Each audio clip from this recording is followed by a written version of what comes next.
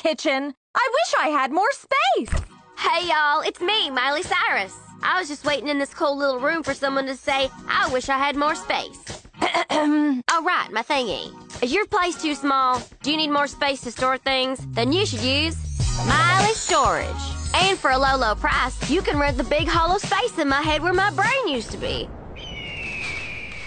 I mean, have you heard the things I've said? Clearly, I'm not using it. Just listen to these satisfied customers. Do you remember when Miley Cyrus said that her new jeans were going to be good for, like, middle America? I was storing my skiing equipment in her head. That interview where Miley said that she and her boyfriend were deeper than normal people left me enough room for my whole comic book collection. And when Miley said that her favorite sport was cheerleading, I was actually living in her head. Yeah, I was going through a rough spot and needed a place to crash, and, well, look. So use my head for all your storage needs, because it can deflate if it's empty. That really happened to me once.